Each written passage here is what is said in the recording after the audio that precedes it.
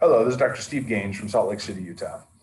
Joining us tonight is Dr. Samuel Peretsman of Urology Specialists of the Carolinas.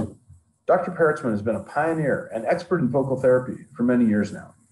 He's been a treating HIFU surgeon since February of 2006 and has been involved with nearly 400 HIFU cases, both out of the United States prior to FDA approval, as well as inside the United States since 2015. He's served as a proctor for HIFU prostate services and also serves on the HIFU Registry Steering Committee of SonaCare Medical. Tonight, he's providing an overview of an article that was recently published in the Journal of Urology on HIFU for partial gland ablation, and will also offer his unique perspective on salvage prostatectomies and failures. Thank you, Sandy, for joining us. Thank you for that uh, kind introduction. And today I'm going to be speaking on two subjects. Uh, we're going to use two published articles as sort of the uh, path to walk through these subjects. The first was a recently published article uh, from two institutions, uh, myself included, on hemigland HIFU ablation and initial outcomes from the first 100 cases. Uh, the article itself uh, is available in the Journal Urology back in October. So if there are things that we get through kind of quickly, you want to refer back to, that's where you can actually find the source document. Uh, HIFU, or high intensity focus ultrasound, was approved for prostate cancer ablation in 2015. The approval was for ablation, which essentially is the same approval designation we have for cryotherapy and for essentially all forms of prostate cancer, as none of them yet have a, uh, attained a PMA. The ablation uh, is an FDA technicality that we're required to use instead of the word treatment. Uh, reports of focal HIFU performed in the United States are lacking. It has been done. There's a fair cohort of HIFU surgeons in this country uh, much of that work before 2015, 2004 to 2015 was done offshore, and 2015 to present domestic. Uh, the objective of the study we done, which was actually just report the initial and largest US series of high intensity focused ultrasound prostate gland ablation as primary treatment for prostate cancer. This is a subset of all our patients treated. Uh, this is an IRB approval my group has a data sharing agreement with the University of Southern California, Keck School of Medicine. There were 174 consecutive men treated. Uh, the inclusion criteria were hemigland ablations. That's a unilateral ablation of a prostate for prostate cancer. Uh, the selected men uh, would, if they had bilateral cancer, it had to be low volume, non-dominant, and only Gleason group one or Gleason six. Excluded were patients that received other forms of ablation. That would include a whole gland ablation, salvage ablations, and subtotal ablations. Essentially, these were one side of a prostate. Uh, patients had to have a multiparametric MRI in advance for mapping. They had both systematic and targeted biopsies. And if they had unfavorable or high risk disease, their metastatic workup was done same as it would be before any other form of therapy. This would be a representative case. Uh, in the top left, you see kind of a classic lesion on T2. Uh, the mid picture, you'll see it's enhancing uh, diffusion images, and then the low ADC lesion in the top right with the low ADC score. Uh, below would be the actual mapping biopsies. The HIFU we used was transrectal HIFU. This would be a Sonablate 500, which was the vast majority of the cases. At University of Southern California, they did some ablatherm cases. Done as an outpatient. You use either a Foley catheter or based on patient preference and surgeon preference, a suprapubic tube. They do get preoperative antibiotics.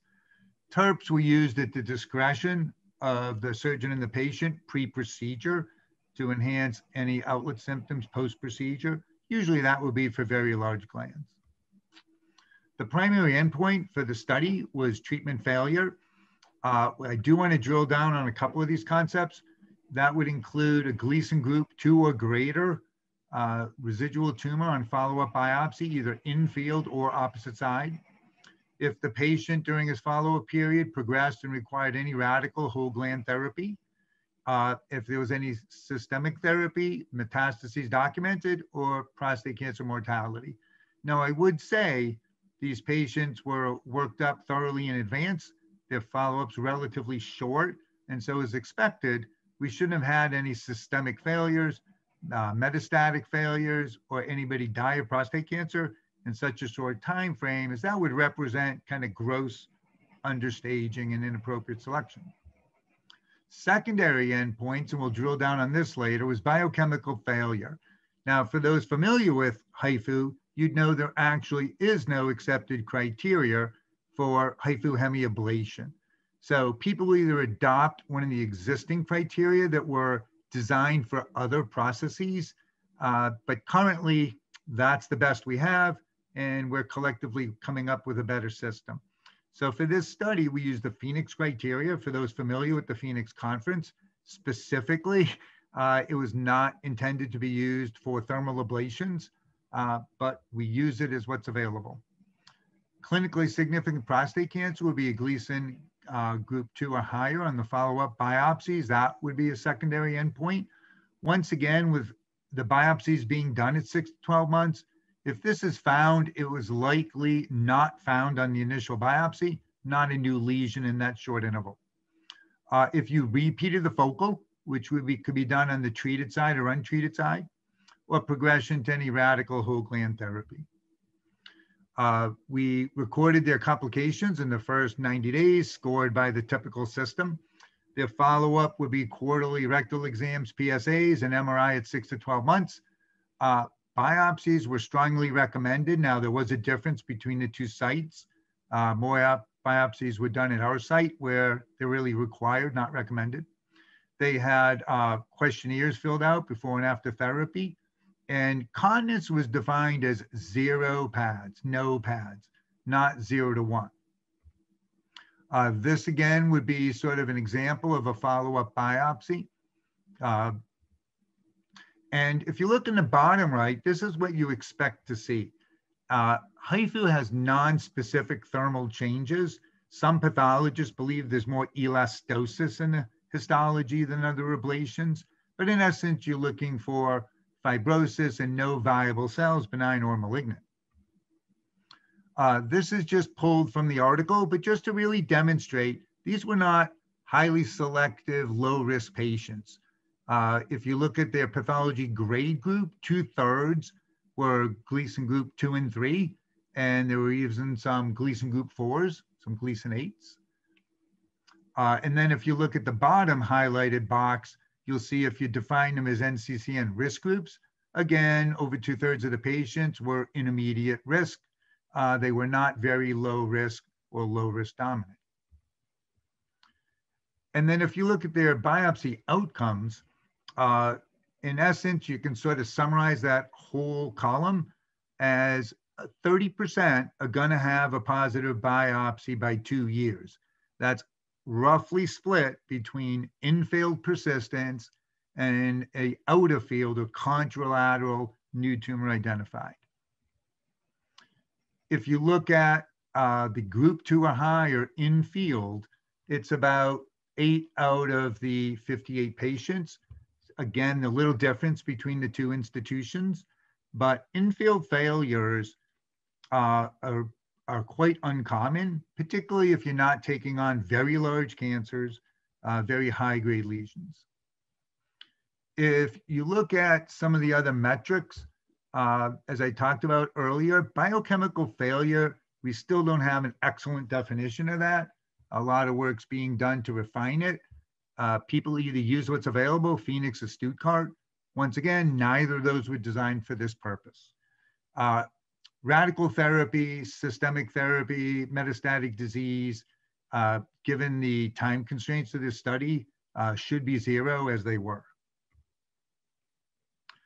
If you look when all is said and done at the people that were deemed treatment failures, only one variable actually was statistically significant predicting this outcome. And that was bilateral cancer at the time of a unilateral treatment uh, that was the strongest predictor. once again, some of how well this is going to go is going to be directly related to how well these patients are diagnosed pre-treatment. How effectively are you biopsying them and what is the quality of your MRIs? Uh, the MRI outcomes, I'll sort of glance over for, uh, for speed. What I will tell you is we have another study going where we're consolidating all the pre and post-treatment outcome uh, MRIs, and we're having a group of investigative radiologists look at them uh, because interpreting post-ablation MRIs is not something every radiologist is familiar with, and it comes with its own subtleties. And I do believe that the sensitivity will improve as the radiologists learn more and more what they're looking for in ablated tissue. Uh, complications are nominal. That's one of the reasons the patients drive this technology. Uh, no high grade complications. Uh, you can get some voiding dysfunction. That's going to be the most common thing, some outlet obstruction. Uh, most practitioners are going to try to optimize that pre-treatment. Uh, continence, and this is a big driver for patients. Uh, continence is 100%. I actually, a few years ago, contacted Boston Scientific to see how many slings or uh, sphincters were ever sold for patients whose indication was incontinence following HIFU. There are some data collection limitations, but as far as Boston Scientific could tell me, they've never sold a device for a HIFU patient. Limitations of the study are its inherent retrospective nature, relatively short follow-up. Uh, you know, there was some uh, interest in getting US patients treated in the US by US doctors on US devices into the literature, and this was the first venture. Uh, if you look at the bottom, not just in the highlighted blue, once again, it just kind of makes the point that we really haven't figured out what is an appropriate nadir PSA with a hemiablation. Uh, the available results are that we expect a 75% reduction in PSA for a hemiablation, but is the subsequent articles going to demonstrate we still have a lot of work to do. So in conclusions for this particular recent publication, uh, we really believe that the data represents actual current clinical practice by US urologists in the US on US patients. Most of the historic uh, HIFU published data is from Europe and Japan. The short-term results show it's a safe procedure. Potency and continence are as well preserved as any other alternative. Uh, maybe watchful waiting would do better on potency. The short-term cancer control looks good. Uh, radical treatment was avoided as expected. If you had to progress to radical treatment in such a short time frame, we need to improve uh, how well we're defining the cancers pre-treatment. The only statistical predictor of recurrence was bilateral cancer diagnosis. Next, I want to briefly address another publication on salvage robotic prostatectomy. Uh, this is specifically following uh, whole gland, partial gland, or double ablations on only a Sonablate 500 device. So this is a decade-long uh, consecutive series by a single surgeon, uh, myself. The first uh, few years were published in the Journal of Robotic Surgery in 2017, if anybody needs to dig into that. It's currently up to 32 consecutive patients, and I want to discuss the lessons we have learned relevant to the preceding study. So we talked about how we still have some persistent disease after hemiablations in part, we just need to do a better job uh, working these people up in advance so that we're picking the most appropriate people. But we do need to follow them well.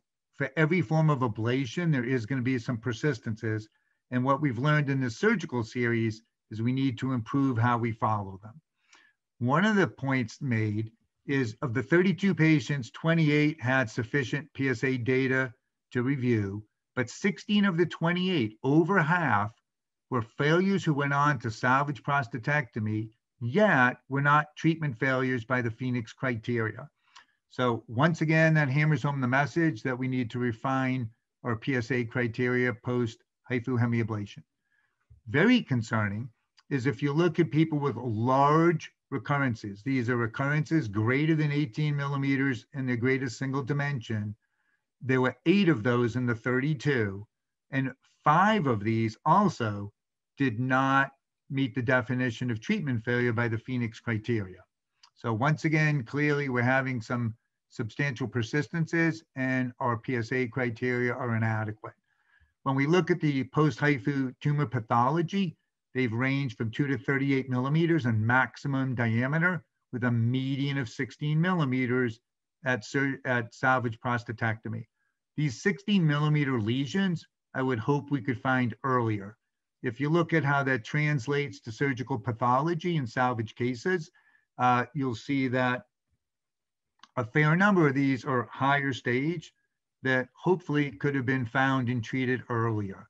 This would include nine T3As, three T3Bs. So that again is uh, over a third of the patients. And small tumors at the time of discovery and salvage treatment were relatively uncommon. So the salvage prostatectomy series suggests there's room for improvement in the treatment follow-up and to optimize the results of the salvage therapies. More assurance of successful salvage therapy will boost patient confidence in this primary treatment choice.